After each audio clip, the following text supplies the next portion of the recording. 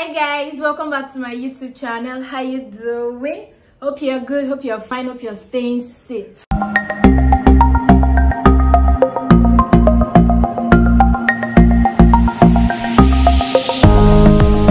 Well gradually things are going back to normal. Life is returning back to how we knew it. Though in entirety everything is not going to be back to normal. But then we are grateful for how things are and the fact that many people are still fine many people are alive and healthy and well. So tell me do you like my hair? So if you remember in one of my recent videos i mentioned about my alopecia journey and the fact that it was because of my alopecia issue. That was why i started my youtube channel. That was sometime in 2015 and then i started sleeping on top of the channel. But the video i did sometime in 2015 has about 28,000 views till date. People are still looking at it. The video was on how i grew back my hair after dealing with alopecia areata. So i decided to do an update video on how my hair has been faring since i stopped dealing with alopecia. So as you can see this is my hair. I know right? My hair looks small because i'm sure you'll be asking yourself since 2015 2016 till now is this all your hair can offer the truth is after the alopecia journey and realizing that my hair was going back my hair was growing back to normal i didn't want to grow my hair again. But because of family and the fact that they felt i had alopecia because i was on low cut at the time during my uni days i cut my hair. So my mom was not happy with it and she was always like why are you why are you cutting your hair? Hair is the beauty of a woman and all of that story then alopecia happened. So to them it was because i was cutting my hair. That was why i was dealing with the alopecia thing. Then i had to scrape my hair all over again. I'm going to attach some of the pictures here if i still have access because i don't know where all those pictures are now. But i'll search for the pictures and i'll attach it somewhere here. And so when i started the onion treatment trying to grow my hair back and it was working but i didn't want to grow my hair like for me to start making my hair but my mom and everyone at home, they're already pressuring. Don't cut this hair again. Keep your hair, grow your hair. You are the one that caused this alopecia did in the first place because you cut your hair. So now, don't cut your hair. So that pressure was what I was dealing with sometime between that 2016, 2017. So what I decided to be doing was, as my hair is growing, I'm cutting, it. I'm trimming it. Let me say that. As my hair is growing out, I'm trimming it so it will be easier for me to manage without having to go and braid it or fix on it or do anything on it. Yeah. I was that unserious. So that was what i did for almost a year or there about probably till 2018 before i started seriously considering making my hair. And my go-to hair was always twist out. See the truth is i don't like making hair. It's that simple. I just don't like making hair it stresses me a lot. It stresses me thinking about making my hair. You know how generally we ladies we carry the hair for like three weeks four weeks or six weeks before you lose.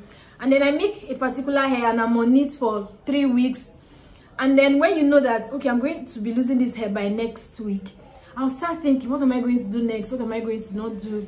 Think of weave on. I'll be like oh no i'm not comfortable on weave ons. I'll think of braids. I'll be like ah, the hours to sit down to make it and then all those so many little little excuses. And really i was never a fan of making hair. So i'm always like so that was why i kept trimming my hair for years till eventually sometime 2018 i had to like start making my hair seriously.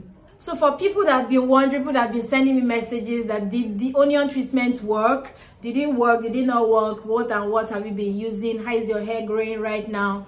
Well this is my hair in all its glory. this is my hair after the whole alopecia journey. I decided to leave it this way so that I can easily scatter it and do whatever I want in this video because I'm talking about my hair in this video. So I want it to be easy for me to touch it, to scatter it as much as I want. Then whenever I have to make it, I'll go and make it.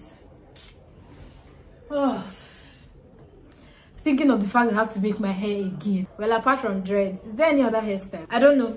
okay so i'm going to just give a run through of what has been happening with my hair since 2015 2016 when i was dealing with alopecia areata this is not like a hair wash tutorial or whatnot i just want to like talk about my hair and the journey so far after i started with the onion treatment around that time and i kept at it religiously most of that period i was not doing much. I was not working seriously. So i had time on my hand so i was make i was doing the onion treatment almost every night. I get a bulb of onion. I blend it. I squeeze out the juice. I apply it all over my hair massage it thoroughly cover my hair with the hair bonnet and then sleep that way till the next morning. Then i wash it off with black soap i'm not going to go in depth about the whole process of trying the onion treatment. I'll link up my video. The video i did back then i'm going to link it up somewhere for you to have a look and see the process and how it worked for me. So after washing i just oil it with coconut oil or any other oil that i had available at the at home. And then i go about my business. Gradually that's how my hair grew out in no time. In less than two weeks hair strands were already out. In a month and two and like that I had my hair back fully. The alopecia started somewhere here.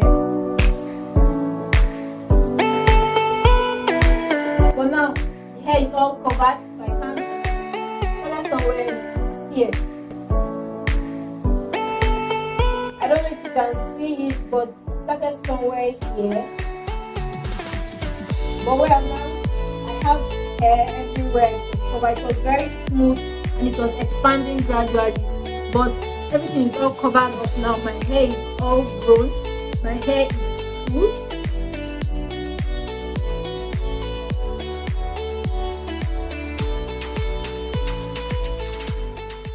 I can pack it any way I like now. So my hair is all grown out and when I don't feel like making it I usually use this hair strand to just tie it up and then carry it to whenever I decide to make my hair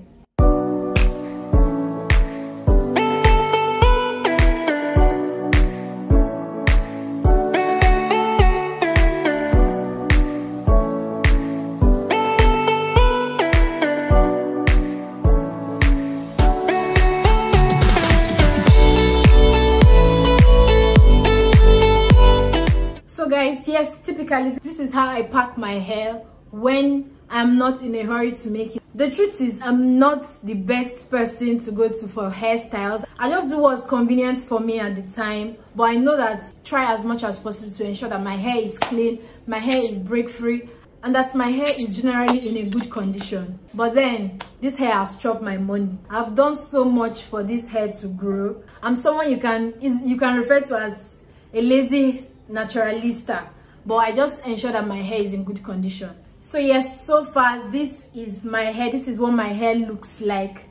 Now after almost five years of dealing with alopecia so easily i can say that my hair is fine my hair is good my hair is doing well my hair is doing fine and i'm very very happy really. The period i was dealing with alopecia was a trying moment for me because I just finished from the university and all of a sudden my hair was going gradually.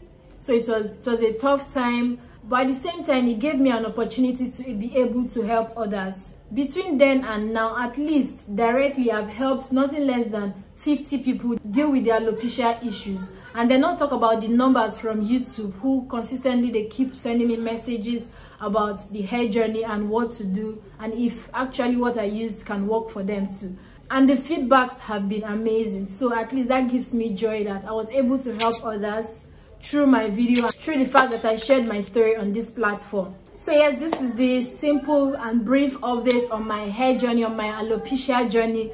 Every now and then i'm still going to share hair tutorials very basic hair tutorials that i do and how i manage to take care of my hair especially for those who are dealing with alopecia. I feel for this journey sometimes people tend to spend so much money because they don't know what to do. But then when they come across somebody who has gone through the same thing that they are going through it helps them to be aware that there are actually other options that they can use to get what they are looking for and to get solutions to the problem. So i'm really happy when people reach out to me concerning their alopecia journey and then i tell them exactly what i did and it works out for them. It's such a good feeling honestly so yes that's that's about that that's that about my hair. From this in 2015 to this in 2020 well apart from the many many times we cut the hair i think it's a good journey so far. So thank you to everyone who has reached out concerning my hair and thank you to all the people who watched my video and really it was um, helpful to them. You guys you made me happy you made me feel that i did something worthwhile. And if you're seeing me on your screen for the first time please do not forget to hit the subscribe button below and subscribe to my channel. If you are a returning subscriber thank you so much for sticking around. And please drag your friends to my channel as well. I need more subscribers more watch hours and we need to hit monetization. So thank you for watching. I'll see you in my next one. Bye